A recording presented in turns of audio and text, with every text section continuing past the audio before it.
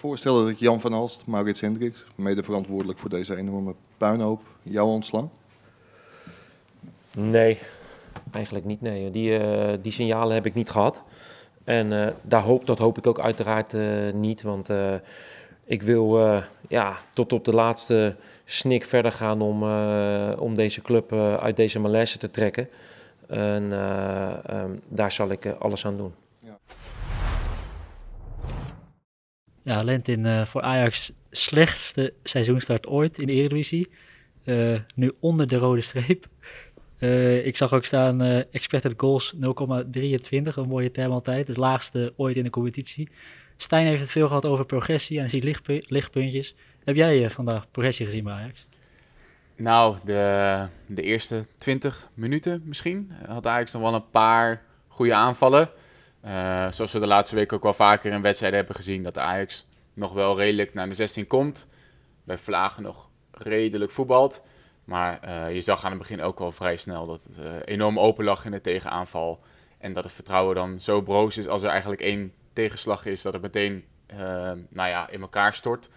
Toen heeft uh, Stijn in de rust een flinke donderspeech gegeven, hebben we net gehoord op de persconferentie. Nou, we hebben in de rust een aardige, aardige donderspeech gehad en vrij terecht ook. Ehm, waarbij de trainer en de staf wel echt volledig probeert om ons de tweede helft uit te laten gaan met een totaal andere mindset. En uh, ja, uh, ja, dat we de, tweede helft wel ja, ietsjes, uh, ietsjes anders de kleedkamer uit moeten dan dat we de eerste helft hebben gedaan. Um, ja, dat proberen we. En, ja, maar uiteindelijk als je de kleedkamerdeuren verlaat en de tweede helft het veld op gaat, dan zul je dat ook moeten zien. En dat laten we echt. nou. Komen ze nog redelijk met energie ehm, de kleedkamer uit? Maar uiteindelijk is het gewoon een, een kansloze wedstrijd geweest voor Ajax. Creëer je veel te weinig om überhaupt maar te denken aan overwinning of een gelijkspel. Ja, dan is veel gegaan ook over de opbouw met Avila. Vandaag ook weer gezien. Ja, dat, dat zag er ook niet uit, hè? Nee, dat zag er inderdaad uh, niet uit. Zo eerlijk moeten we zijn. Um, ik was vorige week ook in Waalwijk. Toen had hij wel een aantal echt sterke momenten in de opbouw. En was het ook echt een uitkomst. Ook weer zoiets waar Stijn zich dan aan vasthoudt. Van, hey, eindelijk een positieve ontwikkeling. Dus ik hou vast aan het centrum. Um, hij heeft een goede trap in zijn linkerbeen en hij kan die opbouw wat regisseren. Een van de weinige spelers die nog wel wat lef toont aan de bal. Maar dat ging in Athene natuurlijk al aan de lopende band eigenlijk mis. En dat zag je vandaag ook. Um, de crosspasses die hij geeft komen niet aan. De inspeelpasses zijn twijfelachtig. Net niet op, uh, op het juiste been of net niet helemaal secuur. En ja, Ajax slaagde totaal niet in dat middenveld te vinden. Op een gegeven moment stonden ze in een 5-0-5 formatie met vijf aanvallers die stonden te wachten vijf verdedigers die aan het zoeken waren en eigenlijk niks, niks daartussen. Hè. Het plan was om Savannah Vos daarin te vinden, um, als vrije man vrij te spelen en dan door te spelen, maar dat kwam er eigenlijk uh, helemaal niet uit. Merk je nou ook uh, in de ploeg op het veld een beetje angst om fouten te maken nu jullie zo onder druk staan? Um, ja, ik ben het er wel mee eens. Um, en dit de trainer ook aangegeven in de rust dat we wel echt op een bepaald tempo voetballen, helemaal eerste helft. Kijk, tweede helft wordt het makkelijker, want hun verdedigen een voorsprong en dan komen er meer ruimtes voor ons ook.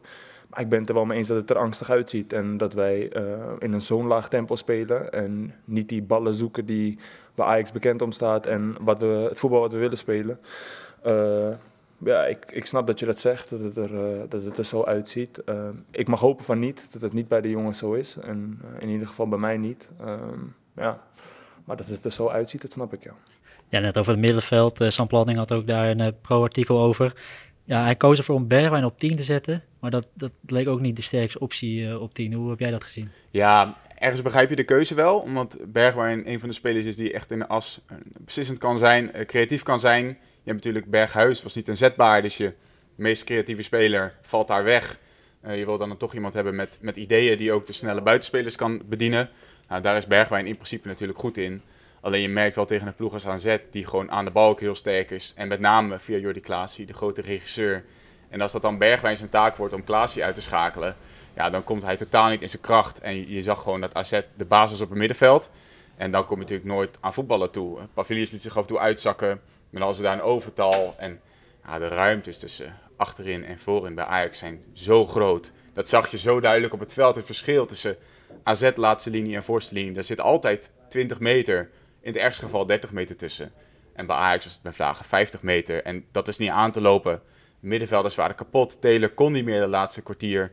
Nou, hetzelfde geldt eigenlijk voor, uh, voor Bergwijn. En ja, Vos was ook aan het zwemmen. Daar valt ook geen eer aan, uh, aan te behalen meer. Ja, Klaas, je merkt het zelf ook. Hè. Die zei het ook van, het was een zee aan ruimte wat ik voor me had. Je had het er zelden meegemaakt, toch? Zei hij eh, ja. met de AZ dat ze zoveel ruimte krijgen om inderdaad rustig op te bouwen, om de vrije man te vinden. Ja, dat is natuurlijk wel een, een pijnlijke conclusie. wel mijn spelers kan verwijten, is dat, dat je, moet ook voelen wat een wedstrijd nodig heeft. Hè? Dus, dus je moet ook voelen dat, dat eh, eh, als we een corner hebben bijvoorbeeld, je hem niet in tweeën moet nemen en moet eindigen bij Gortar. Dan moet je die ballen gewoon inslingeren. En, en, en dat is wat het publiek nodig heeft. Dat, dan kun je over een dood punt heen. Ja, daarin eh, vind ik dat het af en toe wat mak is. En eh, we komen door, kappen hem af, halen hem naar de linksback, halen hem er weer uit. Ja, dat mag best wel wat opportunistischer. Dus dat is een van de dingen die ik heb aangegeven in de rust. Ja, dan even over eh Pavlidis, want het is weer zijn zijn achtste doelpunt Ja. oprijden in een wedstrijd. Ja, dat is ook een fenomeen aan het worden. Hij schiet hem lekker binnen. Ja, En je merkt gewoon eh, ja, hoe dat spel bij AZ op hem is afgestemd. Hoe hij zich als een vis in het water voelt om af en toe uit te zakken. eh, de ruimtes te zoeken links en rechts. Dan de techniek ook heeft om de bal bij zich te houden. Meteen door te bewegen. En ja, dat is wel eh, een spits eh, die Ajax ook zo graag op dit moment zou willen hebben. En iemand waarmee we met Nederland zelf ook wel een beetje zorgen moeten gaan maken. Hè, als hij met Griekenland eh, tegen ons komt te spelen. Want we moeten ons zorgen maken trouwens met Nederland zelf al eh, tegen Griekenland. Met Pavlidis in de spits straks. Nou, wie weet. Eh, afgelopen keer konden ze hem eh, vrij makkelijk stoppen, nog om het zo maar te zeggen. En we, daar maken we wel grapjes over. Dat Ja. hij is heel makkelijk binnenlegt bij AZ. maar wat moeilijker bij het Griekse team. Ja. Dus hopelijk voor hem eh, kan hij daar eh, ook weer wat goaltjes maken. Maar eerlijk gezegd eh, zal mij dat niet zoveel uitmaken. Zolang hij maar in de rode shirt bij AZ eh, een paar wat ballen erin schiet. hij is wel echt, echt in bloedvorm dit seizoen. En acht wedstrijden op rij is natuurlijk wel, eh, wel heel bijzonder. We hadden het er net wel even over. Hij heeft natuurlijk pech dat eh, Santiago Jiménez ook zo in vorm is. Ja. Want zijn cijfers zijn wel echt eh, indrukwekkend. Is het nog in de kleedkamer van, eh, ja, dit wordt langzaam een zekerheid voor je zo weer. Nee, niet eens eigenlijk. Eigenlijk schrik ik elke keer weer als hij er eentje binnenlegt, elke wedstrijd. Want het is natuurlijk niet normaal als je elke wedstrijd blijft scoren. Maar ja, we hebben nog een hele lange weg te gaan. En ik hoop gewoon dat hij dit zo lang mogelijk eh, kan vasthouden. En dat we als team gewoon blijven winnen. Dat is het eh, allerbelangrijkste. Ja, als je kijkt ten opzichte van Brobby ook, je gaf hem er vooraf als, als lichtpuntje aan. Die, die, dat is zo- zo'n verschil ook in, in het spel, ook, hoe die spitsen dan bereikt worden. Ja. Ja, je zag in Athene dat ze heel veel de lange bal speelden, Ajax, op, op Robbie. En dat ze hem daarin heel erg eh, gebruikten en, en vonden. Ehm, maar het was ook wel een, een opdracht voor vandaag om juist wat meer bij dat korte spel via Silvano Vos op te bouwen. En Robbie werd daarin ook dus wat minder aangespeeld en kon wat minder belangrijk zijn voor de ploeg. Ja, en dan, eh, het is natuurlijk niet een speler die zich dan laat uitzakken, eh, de bal komt ophalen en nog eens even het spel gaat verleggen links of rechts, zoals Harry Kane dat doet en in mindere mate uh, Pavlidis. Zo'n type speler is Bobby natuurlijk niet. Dus die hebben we heel weinig gezien. Is weinig van waarde kunnen zijn voor Ajax. Eigenlijk net als die andere tien. Want er waren weinig lichtpuntjes. Misschien Gaei viel eh, redelijk goed in. Eh Medic was oké. Maar ja, je hebt ook bijna medelijden met Maurice Stijn. Als je op de ochtend van de wedstrijd al hoort dat je tweede en derde aanvoerder er niet bij zijn. Zo kort voor de wedstrijd dat je daarachter komt. Berghuis en Soetalo. Niet dat die nou elke wedstrijd een tien halen. Maar dan valt het ook wel heel ver terug. Heb je weer heel weinig ervaring. En dan komt er een soort angst in de ploeg. Dat proef je aan alles. Dat proeft AZ ook.